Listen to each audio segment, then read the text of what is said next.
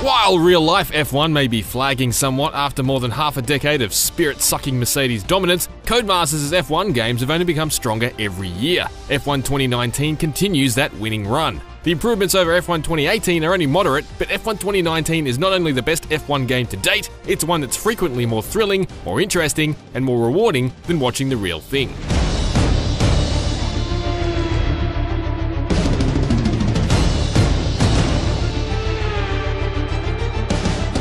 This year's biggest bullet point is the addition of the Formula 2 World Championship, which exists in F1 2019 as a standalone championship, and also as a heavily truncated appetizer to kick off F1 2019's returning 10 season career mode. Codemasters has been adding retro F1 cars to the F1 series for some time now, all with their own handling nuances that set them apart from today's bleeding edge F1 cars, so it's no surprise the studio has been able to squeeze in the Dallara F2 chassis and have it feel equally distinct. They're not as fast as F1 cars, but they have less downforce, so they're actually slightly trickier to drive in certain situations. For this year's career mode, F1 2019 condenses a season of F2 down into a brief string of three scenarios plucked from what's destined to be a racer's final year in the feeder series before snaring a contract in the big leagues. Here, Codemasters introduces a pair of fantasy drivers, the shrewd but sportsmanlike German Lucas Weber and the arrogant Devon Butler. Whatever. And it's the closest Codemasters has flirted to an engaging story mode within a racer since the pro race driver days. Unfortunately, it all dries up following your driver's promotion to F1. Weber and Butler will make the leap alongside you, but the animated interactions cease and are replaced with the occasional text interview emailed through to your inbox by your agent. From that point on, it's basically business as usual.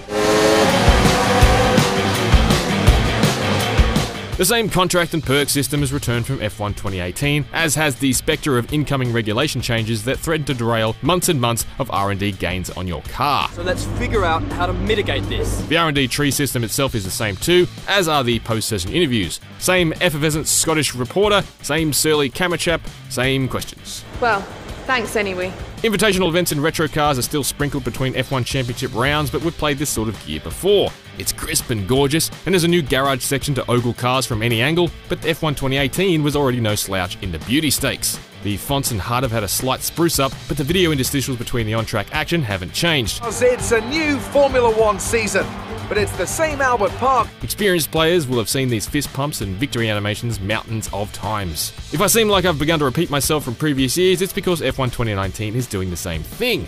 Admittedly, there's probably only finite wiggle room for reinvention when you're already an authentic class-leading simulation of a real-life sport, but if things like R&D and practice programs are going to remain set in stone, perhaps added flavour can come from elsewhere.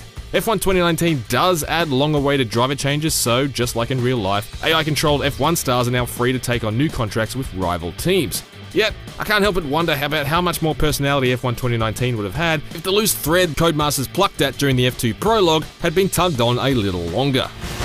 And there's contact! Butler simply left them nowhere to go. On track, F1 2019 feels just as spectacular as we've become accustomed to on a wheel or a gamepad, and as usual, Codemasters has successfully crafted a game that can be either a satisfyingly taxing simulation or an easy to grasp arcade experience smoothed out by an array of potent driving aids. The AI is absolutely the best I've seen in the series' 10 year stint at Codemasters. It's assertive and racy, it exploits gaps, and it protects itself effectively.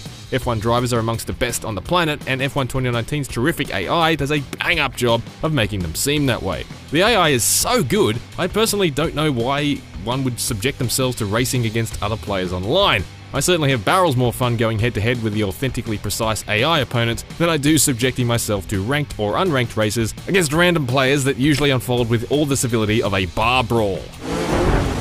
To be fair, however, plenty of piston heads live for this sort of malarkey, and F1 2019 features the series' biggest and boldest multiplayer component yet. There's now a multiplayer spec car designed to 2019 regulations that can be customised with a variety of liveries. Sponsors are locked and the designs are limited to pre-made templates, but colour schemes can be changed. Leagues can now be formed from a dedicated hub within the game, allowing keen online racers to more easily seek out like-minded players to regularly play with. Codemasters has also integrated scheduled weekly GPs that you can complete practice and qualifying sessions for leading up to the weekend race, which begins at preset times. There's a lot of multiplayer to chew on here. Even F1's strong official esports culture is baked right into the front end now. So feel free to ignore my general disdain for racing online. Accessible yet unapologetically authentic, F1 2019 is still best in class when it comes to the art of bringing a modern motorsport to life. However, besides some bold but mostly short lived tweaks to the career mode and some new functionality for online races, there's a pretty strong sense of deja vu here. F1 2019 is a very, very good game, the best F1 game to date, but it definitely doesn't always seem like a new game. For more sports game analysis that you can shake a sofa and a six pack at, check out IGN's reviews of Cricket 19 and MLB The Show 19. For everything else, stay on IGN. How did they manage to achieve this win? Well, I think it was clear what the main contributing factor out on the track was today speed.